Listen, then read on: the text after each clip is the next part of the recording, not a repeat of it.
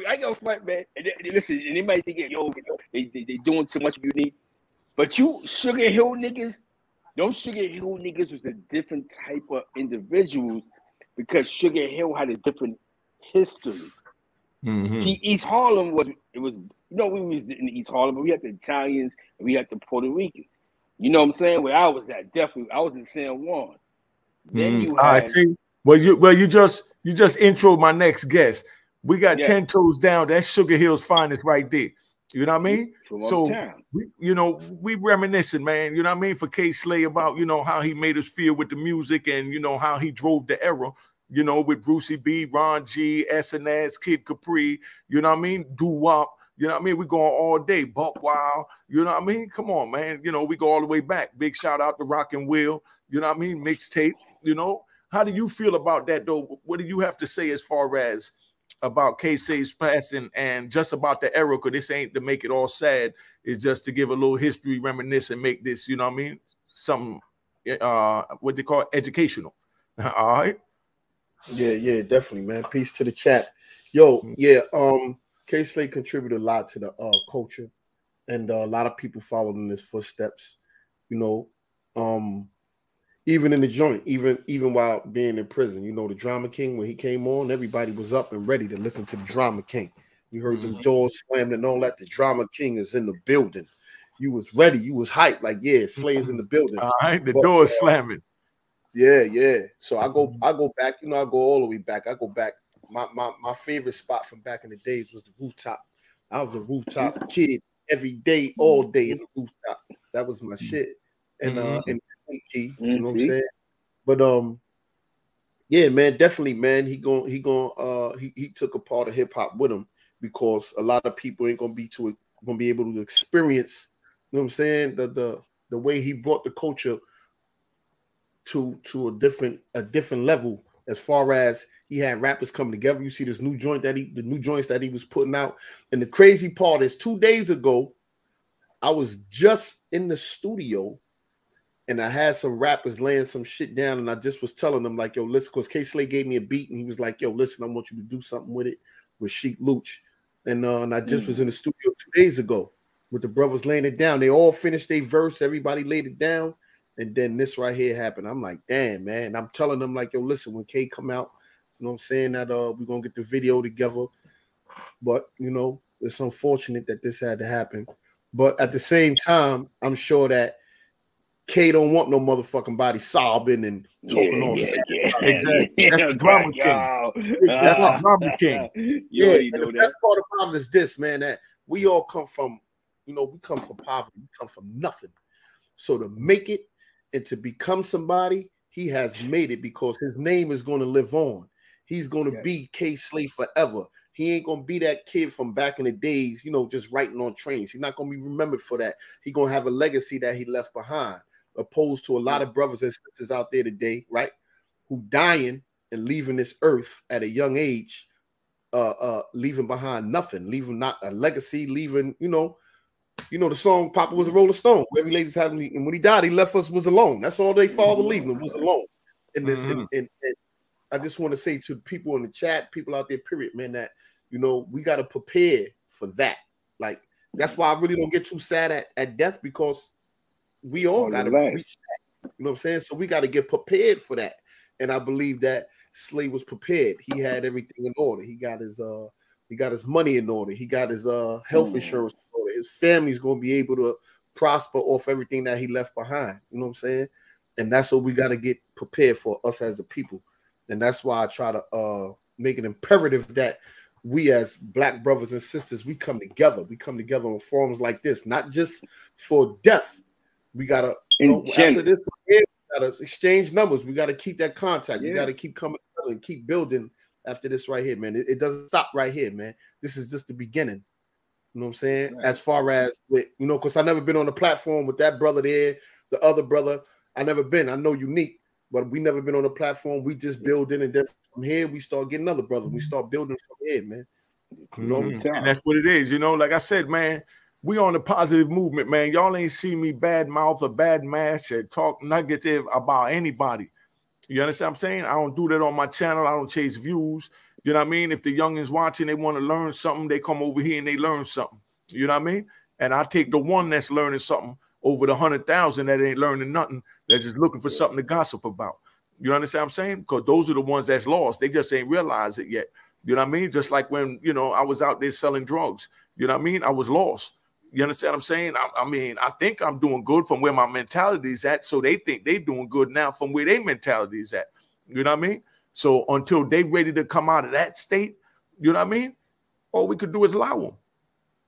That yeah. mean allow them to be themselves. you understand what I'm saying? Facts. You know what's crazy unique? When I was when, this had to have been like 85, right? And, and I began to see a transition in my hood when it came to how the drugs is playing out. Because before then, Angel Dust, he said that water game, stay away from the water. That, that was the that was the curse on the east side. That Angel Dust shit, people go crazy. So nobody wants to fuck with the PCP because that was like the major shit. You know what I'm saying? Mm-hmm. You know, like 85, 86, when the Mets won the World Series that year. Yeah. The game began to change. You had you had you had you had you you seen a lot of good dudes that was getting stuck two, three o'clock in the morning. You know what I'm saying? Like, wait a minute. Mm-hmm. But but you know, you you young, you don't pay you ain't paying no mind to this shit that you you still thinking about what you see, like the dope era, the angel dust. You don't know that this new shit is actually taking over, bro. And, and I ain't gonna front, bro. When when that shit first hit, that shit fucked a lot of dudes up. I mean, you had a lot of dudes that was in position to get money because you gotta keep in mind, again, when it comes to people like Kay Slay and them, they was going to art galleries selling their graffiti pieces mm. to rich white people that paid a hundred dollars for their shit. That's probably selling his shit tonight that he died for a hundred fifty thousand. Mm-hmm. Because remember, he became an influence in hip hop. There's mm-hmm. people that bought the TAT crew shit at these art galleries that that caught them when they when they was at the weakest point. Some of them niggas like, yo, here, to the art gallery, get coked up, whatever the case may be. A, they, you know what I'm saying? Before Def Jam Records, you know what I'm saying? Before there was a mm-hmm. Def Jam, before there was a, a, a record label, mm-hmm. niggas was getting J jerk, bro. You know what I'm saying? Because mm-hmm. they had that one thing, the drug addiction. Here, take this cocaine. We give you a bunch of dope. We give you what you need to get over because people wasn't thinking consciously. You know what I'm saying? So yeah when I began to see that the game changed, bro, it's, it's me and my friends, you was like, yo, son, we can't be like them other niggas, bro. We just can't be like them. But we wind up being like them, not drug, not for with the drugs, but going to jail. Like, yo, we can't be mm-hmm. like them. But we began to commit, commit crimes. But we want to be like Kay Slay. We seen them on um Wild Style and all that shit. Like, yo, we could be on TV. Remember, they was doing this out of love. They wasn't doing it to get a check. It just happened to come their way because of some liberals that worked for the Village Voice and other downtown entities. You know what I'm saying? That's mm-hmm. what took a leg in the hip hop. It the, the, the, people that took a leg in the hip hop was it who y'all think? you know what I'm saying? Media wise, the only person, and I hate the fact that nobody talks about this. Even Ten Toes down, we got to talk about this. Ten Toes. The first man to play hip hop, uh, the first official hip hop radio station, it wasn't that it was Mr. Magic, it was Mr. Sutton, the man who owned WBLS, an African American, bro. Mm-hmm. Mr. Sutton allowed the first commercial hip hop radio show, bro. You hear me? He he the one that put that together. All right, it's a goal. Let's do it. Let's take it from the fever. Let's bring that shit in the fever. Basically, he brought the fever to WBLS when he had the Mr. Magic rap attack. Am I lying? Nah, you right. You right. What's that? Mr. Magic Rap Attack. Rap Attack. You know what I mean? Mm-hmm. And then Marley Marl, you know, do everybody on the station, on. a black man. Mm-hmm. A black man owned it. Who owned WHBI? The same black man. Mm-hmm. So we did control our culture. The white man ain't always control our shit. We controlled our shit. We just didn't have the record labels. That's what we didn't have. Have we had one fuck Sugar Hill Records? Have we had some shit like Universal or or uh, Epic Records that was who knows where we would be at, bro? You hear me? It wasn't none of those back then. It wasn't none of those back then. It was none of that. So Russell was all we had. Uh, all right, so let's go back. Ten toes. Tell me if you remember this, because you might be young. So I'm gonna hit you with this like this is a trivia for you. You know what I mean? Because I know they remember it.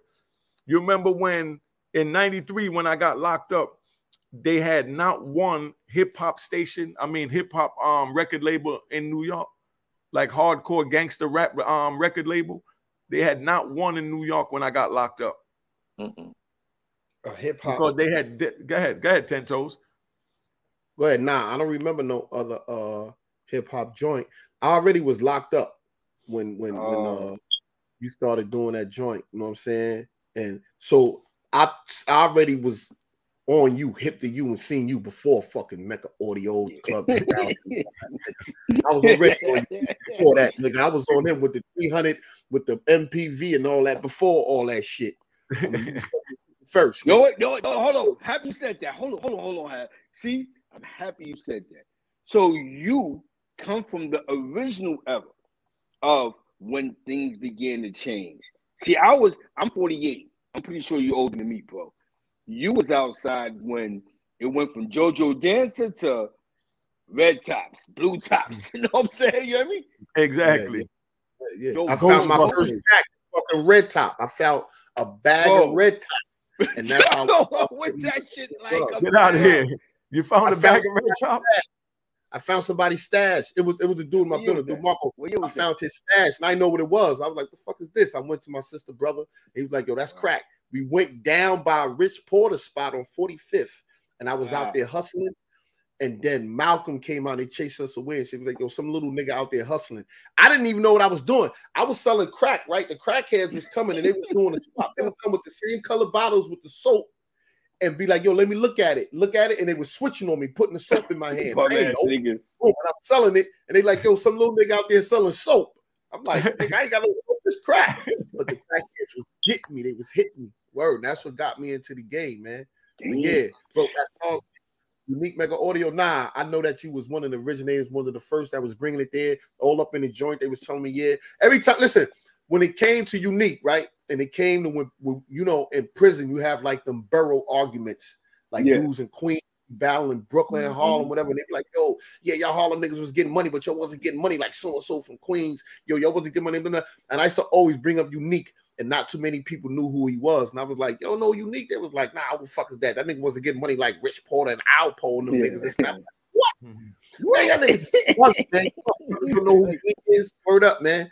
And and uh, it wasn't until when you came out in the magazine and all that, it was like, yo, that's the dude you was talking about, the dude unique. I was like, yeah, nigga, nigga from the hill, nigga, some Sugar Hill shit. Fuck are you talking about? Yeah, man. I've been the whole, you know I'm saying the whole thing is the beauty of it all is this. He came from one place and then look at him now. He was like really a, a, a threat and a danger to our community, right? When you really look at mm-hmm. it, all of us, threat yeah. danger to our community. Hey, look what we're doing now as far as trying to rebuild it and, and, and bring it back. And I bet all of those people, if the walls could talk, all them buildings could talk now, they have a story to say about all of us. Like, yo, oh, type of crazy sucker shit. Those yeah. At 27, we'd say he be dead at this age, this and that. You know what I'm mm-hmm. saying? Unique ain't even supposed to be here. He's supposed to still be in jail for the rest of his motherfucking life. And he made it out. And the spirit you know? spoke. Yeah, there, mm-hmm. and you can only give back because the ancestors have spoken, and you here today, and we all here today, and we able to give back and contribute. And uh we're gonna get resistance, we're gonna get the negative, and, and yeah, we gotta learn to accept that. You know why? Because we was the resistance back then when people was trying to mm-hmm. tell us to stop doing what we was doing. So mm-hmm. we gotta accept that and expect that at the same time. But positive always come negative. Definitely, definitely, be definitely, bro. You know, you know, I watched Unique transition to him becoming free again because I fought because we was on Facebook, so I'm watching. Yo, the nigga ain't on front for, for, for a motherfucker in the feds with the rest of his life in jail. Yo, you know Big D and, and, and Ten Toes Down. The nigga was posted like he was going home tomorrow. So I'm like, oh, let me tell you, I talk the big, I talk the like big bro damn near. I talk so the big bro day, every day, damn near every day on the phone. Every day. So one day he posted some shit, and I'm like, was this nigga free? you know what I'm saying? Because he said some shit, I did, I did, I, and I'm going over here. So I'm like, yo, he got out that shit. And, and, and, and I'm not gonna lie to you, man. That shit made me cry a little bit, bro. Like that nigga had the rest of his life The nigga was as long we was on we we was on Facebook for like 10 years, bro. That nigga never showed a sign of weakness. Like he act like he was a street. He was he had niggas shoot a rap video and all type of shit. Yo, we got the rap video. We got this going on. We got that. Yo, he called me. He called. He called me from the pen, and he told me. He said, "Yo, little bro, I need you to get everybody together. I'm coming home soon." So I went and got Ron G. You know what I mean? I put Ron on the phone with him. Ron did the beat. I went and got everybody to rap on the record, and we made it happen up in the polo grounds. Yo, mm-hmm. son, that was real. That you know, and that's why, and that's why I'm happy that we're here because we could we could do this more often. And Sugar I couldn't tell nobody he was coming home It's because he was like, "Yo, don't let nobody know." So I knew he was coming yeah. home, but I I kept it quiet. That's because you know I knew everybody counted me out. You already know what it is. Ten toes, you know what that's like when they count us out after yeah. two decades. Yo, son, you you know? you, you you you beat the odds, bro. Mm-hmm. And, and I'm gonna be honest with you, man. Just just growing up under you. Remember, you're older than me growing up under y'all and to see that y'all niggas is still sane, you know what I'm saying? It's like I'm good at I'm, I'm in a good place. Like he said, we do got a good message to, to tell. Like, yo, we was young, mm. and, and, and, when you grow up poor, you make poor decisions. But mm. as we got older, we began to make wiser decisions. Who would have thought that a generation above us would have created something that we can make money off of to talk about mm. hip hop? Mm. Who would have thought what Melle Mel, Crash Crew, and the rest of these niggas, and Disco Danny, and Star Child, and the rest of these other niggas was doing when it gave us an opportunity to speak about this culture that we come from. Because I believe it, believe it or not, when I was younger, we we we we, we thought we was hip hop. There wasn't a mm-hmm. yo who the best rapper. The best rapper was on my block. We didn't care about LL Cool J. We cared about the nigga who could rap on the block. You know what I'm saying? Like, like, and then the radio started popping, and that, and that, that was like, yo, this shit is serious now. Maybe I need to learn how to. Hey, yo, hold on, hey, yo, spit. Hit the link in in the in, in the comments and come in. That stands spit. You know what I mean? We just did a record oh, together. Me, bro. him, Gruff Davies. Yeah. You know what I mean? Um, Charlie. Yeah. You know what I mean? We did, we did it, we did a joint together, man. Spit, hit the link in the thing and come in, you know. But um, where I'm at is what do y'all think about this the subway shooter and what's going on? And is, is the train safe to you? There's always a Ricky Richardo, bro. There's always, you know what, you know what? There's always a Ricky Richardo. Um, we get them every 20 years. We always get the one that, like the Carl Ferguson guy. What's it called? What's Ferguson nigga that mm-hmm. train up in Long Island? We get them. But the weird part about his actions is wherever he was going through, see what happens is mental health is serious in New York, right? And we see that every day we go we, when we when we walk the streets. But African Americans, for some reason, we don't get the help that we need or the service. Police arrive by somebody who's in the middle of the street talking to themselves until they do something stupid. Mm-hmm. Obviously, he had mental health issues, and nobody must have cared until he finally flipped out. Yo, you just don't wake up in the morning and go, I'm gonna put a mask on and shoot some shit up and throw a gas bomb in it. You know what I'm saying? So now what happens now is why is it when it comes to our culture, you have to I, I see in St. Louis, bro. Here in St. Louis, I see a bunch of crazies walking around talking to themselves with guns. They got guns on them. Never seen they going, y'all don't fuck with them until they shoot somebody's head off. Then they go, oh, we got mental health issues. So why the fuck don't y'all solve the mental health issues until but y'all wait till they commit a crime. So that's the that that it's crazy, bro. Just the other day, somebody shot somebody head off, and they said the guy who did it got mental health issues. Yo, he was crazy. He was off his meds, and he shot guy. He shot homeboy in the subway station. Yeah, but the thing is, I'm sure he showed plenty of signs of all that. You know, what I'm saying? You know what I'm saying? They show signs, bro. And nobody just paid attention to it. What you think well, about the subway? Uh, crazy, uh, bro. Huh? They're trying to make they, it. I think that they pay attention to it, right? But they just don't care. So even with like the prison system, right? In prison, the mental health, they you really don't get the help that you need within the prison system. So you got a lot of people that's mental. That let's say the first time he does something crazy, nothing real violent, but just something stupid. He go to prison all they're gonna do is medicate him up. That's the answer to everything. There's no psychiatric mm-hmm. help. There's no sitting down, no try to figure out.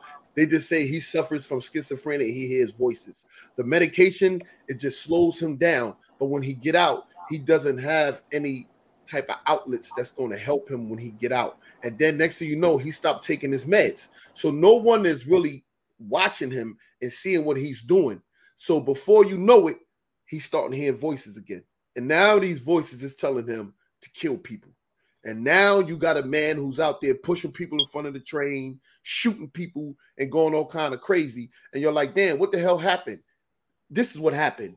You let him go up out of prison when he wasn't supposed to be in prison in the first place. He's supposed to be in the psychiatric ward and getting some type of mental health, psychiatric, uh, uh, uh, uh um, from a psychologist and a psychiatrist, and they were supposed to have been challenging him and helping him rather than medicating him up and seeing what the real issues was with him. So now today we got a man on the subway shooting people, in which I believe that he was uh military.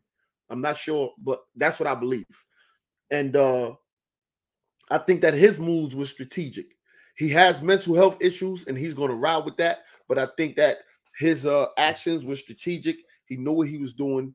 And, and when you when when it comes to uh, people that's really crazy, psychotic or something, they see everyday killing or violence as normal. Like you getting up, putting your pants on, brushing your teeth. That's normal for you. But for them, violence and doing crazy shit like that is normal to them. They don't see nothing wrong with it and they need the help. And hopefully, this will uh, uh, send a big message out to society that you can be the next victim. You can be the next one because it has set an alarm not only for the people that was on the train, but to society, period. And the same thing in which we were doing, we were meant to at one time. We suffered from uh, uh, uh, you know, the peer pressures in our communities and stuff like that. You got to be mental. We was desensitized. We dehumanized people. We had to be mentally ill in order to do the things we did. In order to put drugs in people's hands and seeing the effect that it had and how it made people rob and steal, how we were able to pick up guns and kill people. That's a mental illness. That's a sickness in order to be able to do that. And we was desensitized and we dehumanized, and that's what our problems were. And and and the help it is possible. We can get the help because you can see it in me, you can see it in Unique, you can see it in all the other brothers who, you know, on a different scale of mental illness that we got the help. These brothers here, they on another uh level of mental illness. They can get the help. It's just that we gotta uh keep track of them on a medication, making sure that we have uh uh social workers and everybody on point Oh, I think he knocked him off. That was a good build he was having. Yeah, but definitely, man. Like, but but I that, and I look at it like we all mental. Unique is had it mental health issues. I did. All of us. If anybody's able to hurt somebody, no, bottom line, bottom line, know, family. You don't been the time. All of us been, been done did time. You already know that once they put you in there, it's like you know survival mode. You don't know what to expect, but whatever it is, you know that now this is everything that everybody that grew up in your neighborhood, your culture, your environment, your household, this is what everybody taught you. And you tap into it as different circumstances come from every step that we take, walking deeper and deeper into the bliss, into the prison. You know what I mean? Some people mm-hmm. just keep walking with blinders on, and those are the ones that wind up catching a new charge and never getting out because they don't kill somebody over a cup of soup you understand what I'm saying? I mean, we got that all day. And they'll tell you that they did it because it was right. the principle of the thing. How many times we heard that word? The principle of the thing. You do something stupid and you bring it, you blame it on principles. You understand what I'm saying? Oh, you yep. stabbed the dude over a cup of soups now. You never going home. He dead. And you telling me it was the principle of the thing, and you're comfortable going to bed with that at night for the rest yeah. of your life when you came in with three years. I, yeah, I, I met brothers like that. I seen that a lot in there. You know. So I mean, you know, you tell me. You know, I seen the dude turn a five year bid into twenty five. Mm-hmm. You know. Yep. So oh, you know, just trying to keep it where it's at, man. Um. Cheers, cheers, toast the crime, toast the crime, the crime, the crime, the crime. Hey!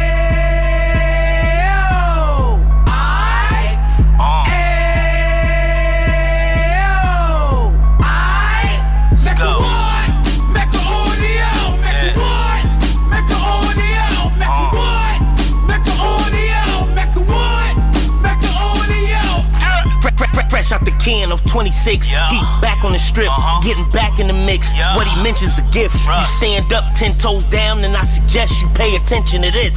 Real. Take a little gully posse and put it in Harlem. Uh. He cut from the bottom, Back. came up from the bottom. Back. Drop the book, you should go and get it. The Instagram page and the YouTube, you could go and visit. Yeah. Then you could consider yourself LinkedIn. Real. Sit front row and get Jews from a kingpin. Uh. How he went through it, so you ain't gotta go do it. Uh-huh. To not pay attention would be stupid. Talking about about a man that probably put your grandfather on. Probably the reason that him and your grams got along. A man that generated millions on the block, did his oh. time, never squilling to the cops, Mecca Audio.